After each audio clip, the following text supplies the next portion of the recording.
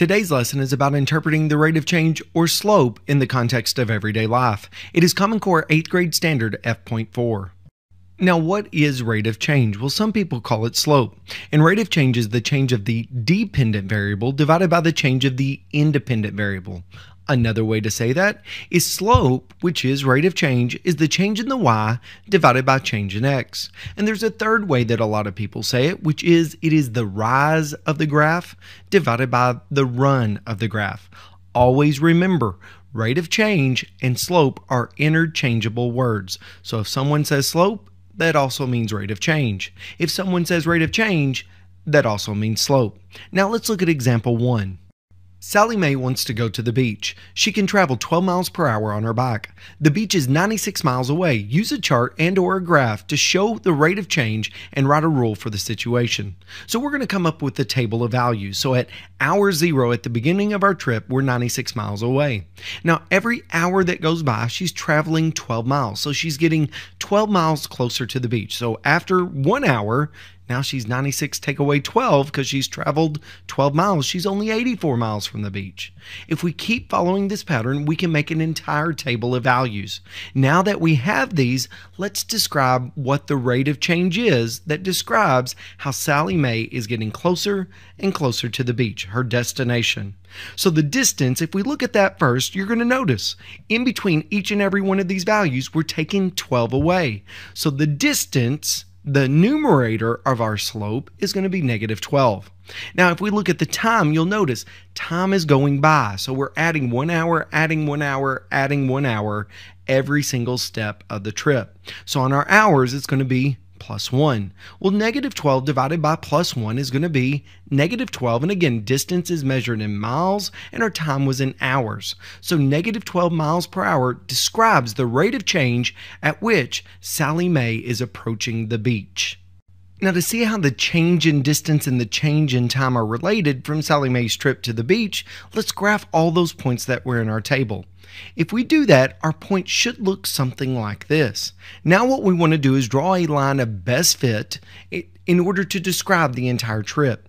It should look again something like this. And the line you'll notice goes through every single one of the points. Now, we've already talked about what the slope is, which is the same as the rate of change. So it's 36, it's 3. Now, you'll notice in the y direction, we're going down. So that's really a negative 36 divided by 3, which again is negative 12. Now, the other thing is to use the equation of the line to write it, we need to know what the y-intercept is. Well, that's our starting place, and Sally Mae started 96 miles from the beach, so it's 96. And with our slope of negative 12, we can write the equation in the form y equals mx plus b. So the equation that describes Sally Mae's trip is y equals negative 12x plus 96.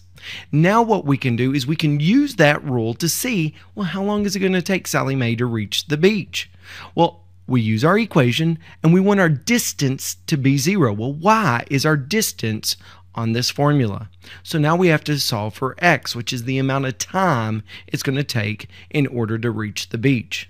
So to solve for x, the first thing we're going to do is subtract 96 from both sides. Now on the right side, it cancels off and you're going to get negative 96 equals negative 12x. Now, the next step to solve for x is to divide both sides by negative 12. On the right side, the negative 12s cancel off, and negative 96 divided by negative 12 is 8. So what that means is it would take Sally Mae 8 hours to ride her bike to the beach. For example 2, it says your summer job is to take care of the lawn at your school. The school has agreed to pay you $50 plus $6 for every hour you work. Use a chart and a graph to show the rate of change in slope. Also write a rule for the situation. So what we're going to do first is we're going to make a table of values. So on this one at hour 0, how much have we made? Well, we've already got $50 because they probably paid us some money up front for gas and different things like that. Now, every hour that we work, we now get paid. So if we work one hour, we're going to get paid $6. Well, if we start with 50, now we've made $6. Now we're all the way up to $56. Now we keep following this pattern and adding 6 every time to our total paid for every hour that goes by. So here's a list of values that we can make in our table. Now let's look at the rate of change that this describes.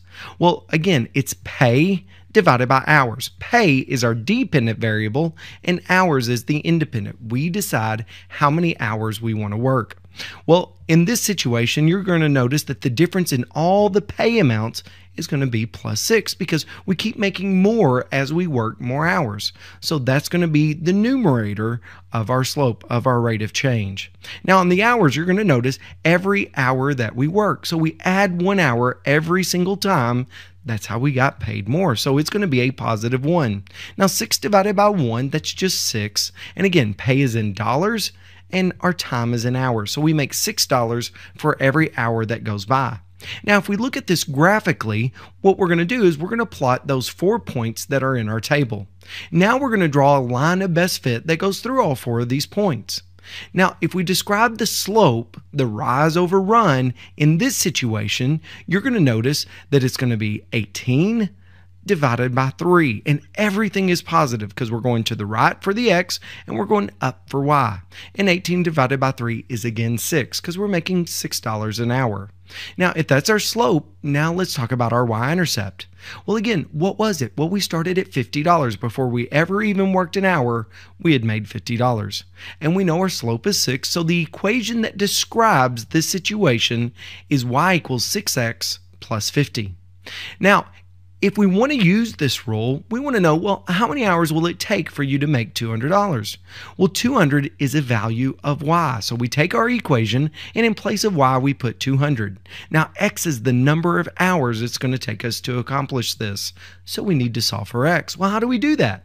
Well, the first thing we have to do is add or subtract any number on the side with x, which in this case is plus 50. And the opposite of adding 50, to get it to the other side, we do its opposite, which is subtract 50.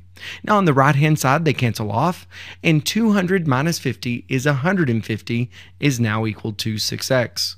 Now to solve for x, it's 6 times x. The opposite of multiplying is to divide, and whatever we do to one side, we must do to both sides. So on the right hand side, the 6's cancel off, so x is equal to 150 divided by 6 is 25. So what this means is it would take you 25 hours to earn $200.